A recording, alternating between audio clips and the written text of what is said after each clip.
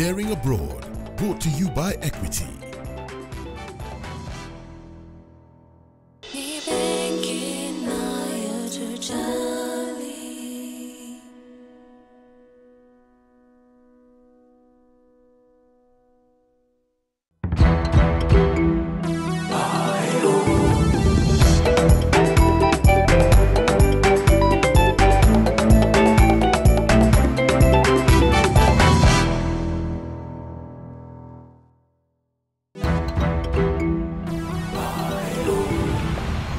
From the slopes of Mount Kenya in Meru County to Tampa City in Florida State, USA. We are focusing mostly on uh, those who want to get into the IT industry.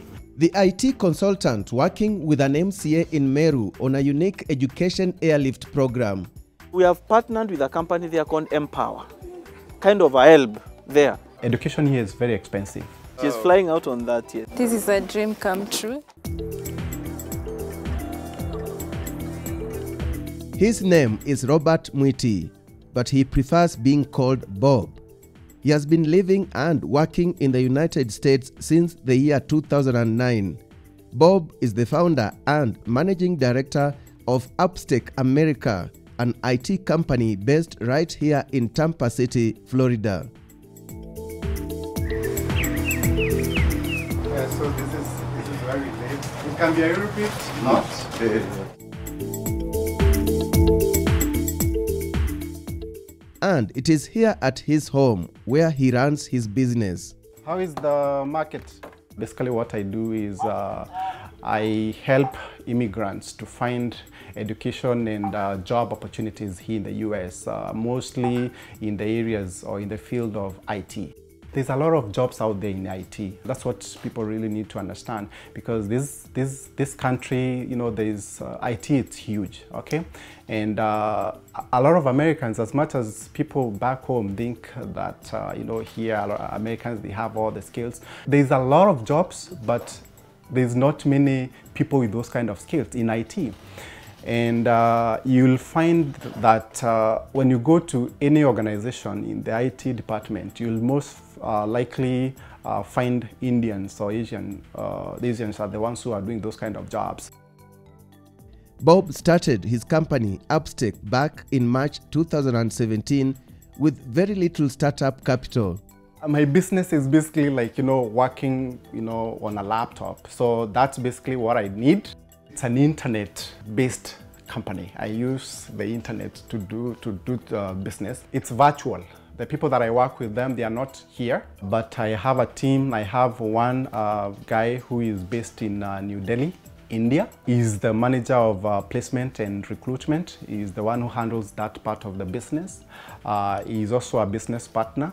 Uh, and also I have uh, a team also in Kenya. I have two guys, brilliant, brilliant uh, guys who help me with uh, creating content. Okay, I'll see you tomorrow then.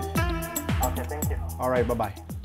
Through social media, Bob is able to connect with his clients. I have a show on Facebook. Uh, it's called Success with Bob Mwiti Live. And uh, basically in that show, what I do is uh, I share a lot of inspiring uh, content or stories about, uh, you know, my life and, you know, life here in the US, uh, how to get good jobs, you know, uh, because a lot of people out there, they struggle so much because they don't really have that information. Every week I have like at least a thousand people watching my show. I also have my personal website. It's called uh. And in that website, I share my stories. I share the programs that we do here. And I also give information also for those who want to come to the US as international students. Bob has not forgotten his roots. He's giving back to his mother country, Kenya, in a unique way.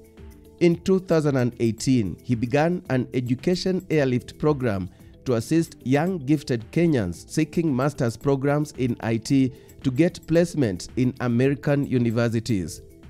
He runs the program in collaboration with Dennis Kiogora, the member of County Assembly for Abogeta West Ward in Meru County.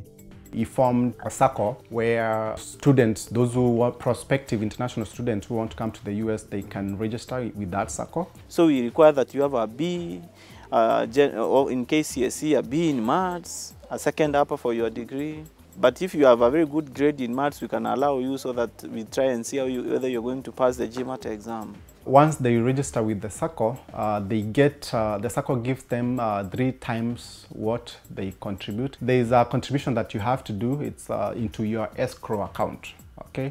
Uh, when I say escrow, I mean like an account for your own expenses. Kiogora himself has taken education seriously.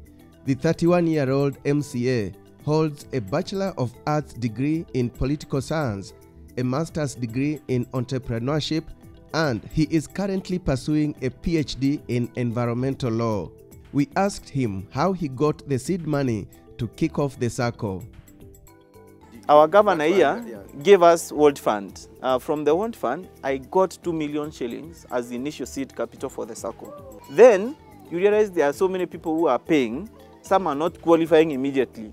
So as more go, there is more money coming in that we can use the money from people who are joining to lend, as we also allocate some more money from the county. So far, Kiogora and Bob have been able to help close to 30 students, majority of whom are still in the examination phase. From the 30, one went in August, two are going on 30th of December. One more is from Kisii County. He will be leaving in May. So that will be the fourth for the program. So you mean your program is open to the entire It's open to anybody. Bob says all the tests will cost about 250 US dollars, which translates to about 25,000 Kenya shillings. Upon passing the exams, one would have to prove that they have enough finances to be able to live comfortably in the US. And this is the last stage before visa application. Now, for us in our program, uh, we have uh, MPOWER who offer unsecured uh, international student loans of up to $50,000, uh, which can be able now to fund those who are coming through our program and they can be able to uh, finish school here. Kind of a help there that is paying their fees. They are given 100% fee loan. They are required to pay to stay in America for more than 10 years so that they will be able to repay the tuition fee that they have that Empower will have paid for them. So Chamwada, meet Elsie Kagweria. One such beneficiary is Elsie, who scored an A of 82 points in her KCSE examination. Yeah, she's flying out on that yet. To be honest, Chamwada, this is a dream come true. What are you, you going to study abroad? I'm going to the University of South Florida to study Masters in Business Analytics and Information Systems. Mm-hmm. In addition to the monetary facilitation, students also receive IT training at Bob's company as well as job placement once they are done with studies. We do training on uh, Oracle EBS, which is one of the um, most popular technologies out there. We do training on robotics process automation, which is basically a technology that uh, leverages the power of uh, artificial intelligence. In Meru, both Kiogora and Bob are heroes. During our visit to meet his rural home, there was a light moment when Bob called to say hi to us, and the village literally was talking to him live. His mother was probably the most excited. Ai, nilifurahi sana kuona niko na kimboisi kinaenda huko marka Amesoma na kamaliza shule vizuri. Hi, Bob. Abdu, bwana Abdu. Ah, muonie ntangu, muonie ntangu. Kwa hii gari ndiye alinunulia hii gari.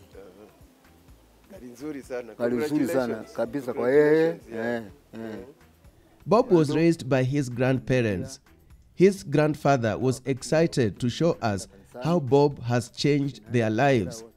And this homestead has been modernized thanks to Bob. Hata mashamba amenunua. Nunua mashamba huko eka mbili na nusu, ingine eka moja na nusu, na hapa iko na robo hapa. Umetusaidia sana. This is where Bob undertook his primary education, and his name is etched on this list of fame. I took him from class 7.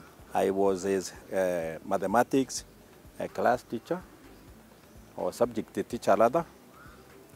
And uh, he impressed me. He has been a good example to all And each one of them, even the parents, even the pupils, they want to break that record. Bob is an old boy of Nkubu High School. The school is proud of his achievements. He is a role model.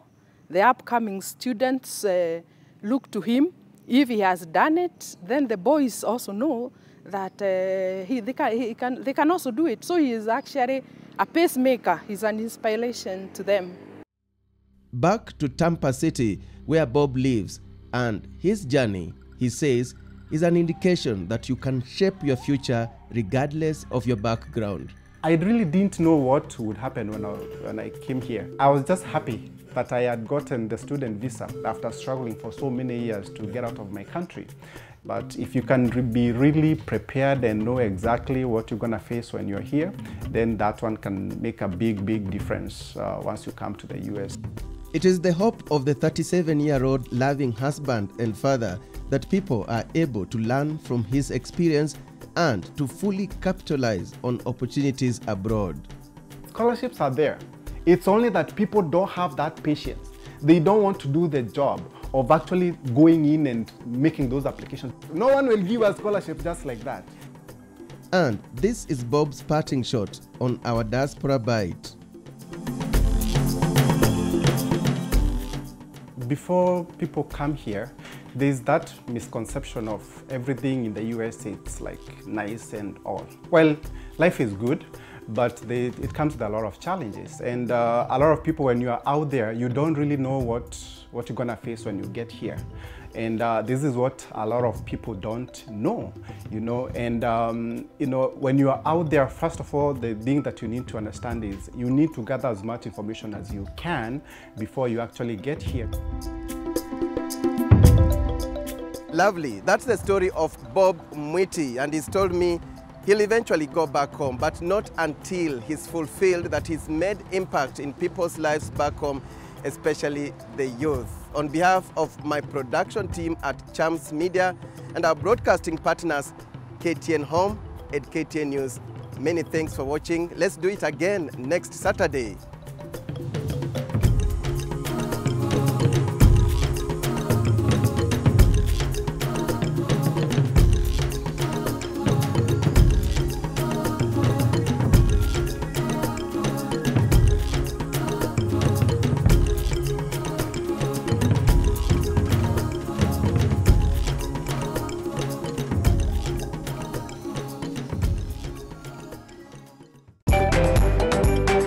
Daring Abroad, brought to you by Equity.